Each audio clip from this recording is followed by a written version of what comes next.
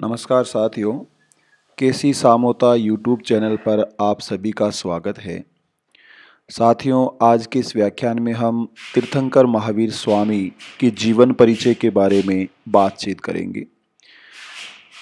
सिंधु घाटी सभ्यता जैसा कि हम जानते हैं कि सिंधु घाटी सभ्यता के पतन के बाद भारत की इस सरजमी पर दो महान आत्माओं का जन्म हुआ, दो महान योद्धाओं का जन्म हुआ, जिन्हें तथागत भगवान बुद्ध और वर्धमान महावीर स्वामी के नाम से जाना जाता है। साथियों, सिंधु घाटी सभ्यता के बाद लगभग हज़ार वर्षों तक जो ब्राह्मणवादी चिंतन और ब्राह्मण ग्रंथों का वर्चस्व था, आधिपत्य था, उसको महावीर स्वामी और गौतम बुद्ध के द्वारा चुनौती प्रदान की गई। दोनों ही नायकों के द्वारा वैदिक सभ्यता की उस व्यवस्था को जिसे शोषणकारी, अन्यायकारी, असमानता, छुआछूत, भेदभाव, हिंसा और युद्ध तथा प्रार्थना और यज्ञ और पशु बलि की व्यवस्था थी, उसको चुनौती प्रदान की।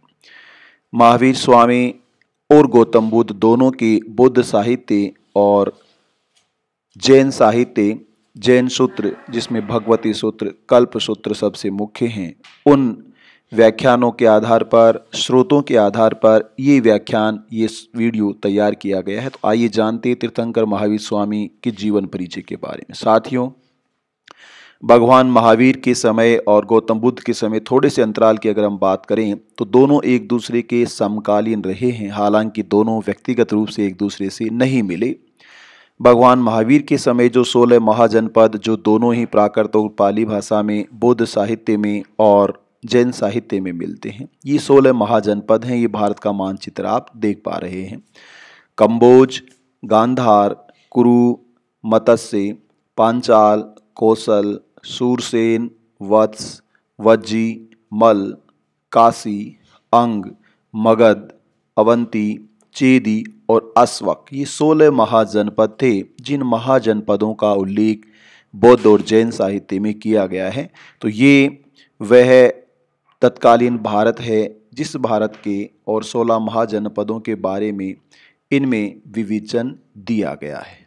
आइए साथियों, बुद्ध के जन्म से निर्वाण तक की कहानी के बारे में बातचीत करते हैं। साथियों, ये व्याख्यान कैलाश चंद जैन के द्वारा लिखित पुस्तक के आधार पर तैयार किया गया है। इसके जो मुख्य स्रोत बौद्ध साहित्य, जैन साहित्य, सूत्र जिसमें भगवती सूत्र और कल्प सूत्र, ब्राह्मण साहित्य के आधार पर तैयार किया गया है। जैन परंपरा एक तीर्थंकर परंपरा है। इसके पहले तीर्थंकर या गुरु ऋषभ देव थे और चौबीसवें तीर्थंकर वर्धमान महावीर स्वामी थे। महावीर स्वामी के माता पिता का नाम, माता का नाम तिसला, जो कि वैशाली की राजा चेटक की बहन थी, राजकुमार। और पिता का नाम सिद्धार्थ था। उनका परिवार एक राज परिवार था। महावीर स्वामी का जन्म वैशाली के निकट कुंडल ग्राम में हुआ, जैसा आप मानचित्र में देख पाएँगे कि ये वैशाली के निकट कुंडल ग्राम में महावीर स्वामी का जन्म हुआ। ये वैशाली है और ये कुंडलपुर है, जिसे कुंडल ग्राम के नाम से जाना जाता है। यहाँ पर महावीर स्वामी का जन्म राज परिवार में हुआ। ज्ञात्रक उनका क्षत्रिय कुल था। पाँच सौ निन्यानवे ईसा पूर्व से पाँच सौ सत्ताईस ईसा पूर्व के काल को महावीर स्वामी का काल कहा जाता है। साथियों, महावीर स्वामी का विवाह राजकुमारी यशोदा से हुआ और उनकी एक बेटी थी। उन बेटी, उस बेटी का नाम अनोजा, जिसे प्रिय दर्शना के उपनाम से भी जाना जाता था।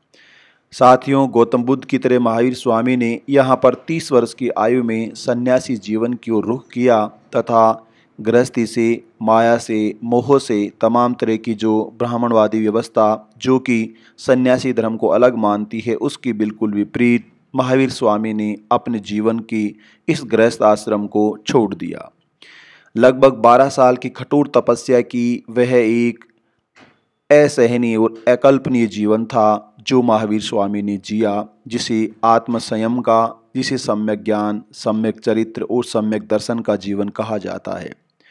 लगभग बयालीस साल की उम्र में तेरहवीं साल यानी तैतालीसवीं साल महावीर स्वामी को जम्बिका ग्राम में रिजुपालिका नदी के तट पर साल वृक्ष के नीचे वैशाख शुक्ल दशमी को केवल्य यानी कि ज्ञान और सत्य की प्राप्ति हुई।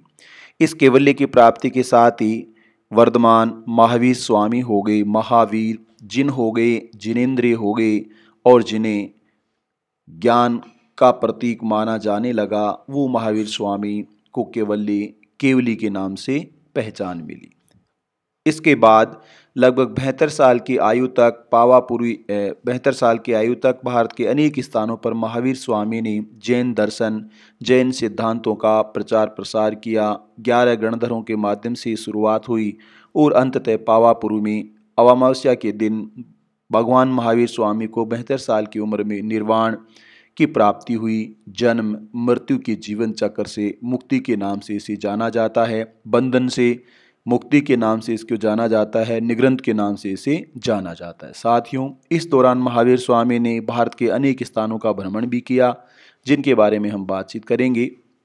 भगवान महावीर द्वारा अवलोकित वे स्थान, जो उन्होंने अपने बेहतर साल के जीवन में, यानी कि हम कहें कि बयालीस वर्ष से लेकर बेहतर तक, जो तीस वर्षों का जीवन काल था, उस जीवन काल में अपने सिद्धांतों का प्रचार प्रसार करने में व्यवतीत किया। केवल्य की प्राप्ति के बाद ये स्थान यविया, श्रावस्ती, श्रालभिया, कोसावी, वाराणसी, कोलाग, वाणी, वाणीग्राम मध्यपावा स्थानाक, मिथिला, वैशाली, कुंडलपुर, कोटिव्रस, कैंगला, भद्दी, चंपा, नालंदा, राजटक, लाट, गोभूमि, वज्रभूमि, लोहारगला, उन्नाव, सुनसुमरारपुर, पुरितमताल, थस्थातपुर शुभ्रभूमि, दृढ़भूमि, पोड्यालग, वालुया सुछेता और तेसली।